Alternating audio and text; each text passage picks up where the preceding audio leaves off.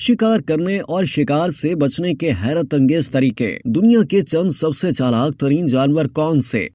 जहानत किसी की मिरास नहीं होती। ये मुहावरा आम तौर पर इंसानों के लिए बोला जाता है। ताहम ऐसे जानवर भी मौजूद हैं जो किसी से कम नहीं। लेकिन यहाँ हम आपको जहीन नहीं, बल्कि कुछ चालाक तरीन जानवरों के बारे में बता रहे हैं। ऐसे जानवर जिनका शिकार करने और शिकार से बचने के तरीके इतने मुनफरद हैं कि उनके मुखालिफ लाचार रह जाए। कैलिफोर्नियन जमीनी गलहरी। इस छोटे से जानवर को बहुत बड़े मसाइल का सामना करना पड़ता है। अमरीका में कैलिफ़ोर्निया, मगरबी ऑरिगोन और मगरबी निवाडा के जंगलात और चिरागाहों में रहने वाली इस किस्म की गलहरियों के लिए पथरीले इलाके और गहरी वादियाँ दोनों एक जैसी हैं, लेकिन इनके घर के खुले होने की वजह से इन्हें हमेशा शिकार होने का खतरा रहता है। एक दुश्मन रेटल स्नेक या चक्की नाग है, ऐसा सांप जो सूंघ कर शिकार करता है, और अगर एक मरतबा पीछा शुरू कर दे तो निशाने का बचना तकरीबन नामुमकिन हो जाता है। लेकिन कैलिफोर्नियन जमीनी गलहरी के पास अपने दुश्मन को बेवकूफ़ बनाने का एक मुनफरद तरीका है। गलहरियों ने रेटल स्नेक की कैंचली को अपने ऊपर मल कर सांप की बू से अपनी बू को ढकना सीख लिया है। ये समझा जाता है कि अमल गिलहरियों ने नस्ल दर नस्ल सीखा है और ये खुशबू किसी भी होशियार गिलहरी के लिए सांप से बचने के लिए लाजमी है।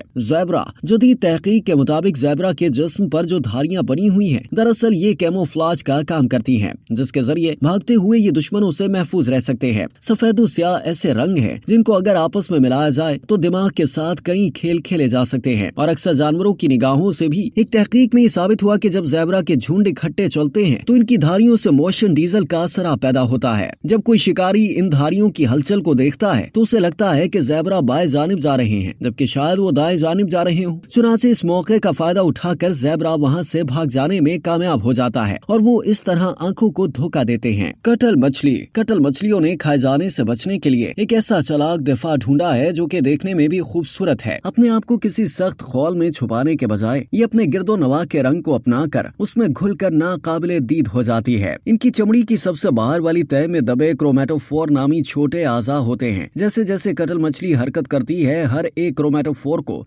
दिमाग से पट्टों के ज़रिए खींचा जाता है और यका यक एक नुकता किसी रंगदार दायरे में बदल जाता है। इसी तरह के करोड़ों क्रोमेटोफोर्स एक वक्त पर काम करने से कटल मछली मखसूस रंगों के ऐसे नमूने बना लेती है कि ये कहीं भी घुल मिल जाए। इसके साथ साथ ये शक्ल और साग भी इस कदर बदल सकती है कि ऐसा लगता है कि ये बिल्कुल ही गायब हो गई है। अफ्रीकी शेर बोस्टवाना के ओकांगो डेल्टा के इलाके में चंद ऐसी शेरनियाँ रहती हैं, जिनकी घनी अयाल और शेर की तरह गरजदार दहाड़ मुखालिफों को अक्सर मुगालते में डाल देती है। इन गैर मामूली शेरनियों में से एक ममोरीरी है, जो दिखने में शेरनी नहीं, बल्कि नर शेर की तरह नज़र आती है, क्योंकि ममोरीरी नर शेर जैसी दिखती है, जो मुखालिफ नर इनके इलाके पर कब्जा करना चाहते हैं। हमला करने से पहले दो दफ़ा सोचेंगे।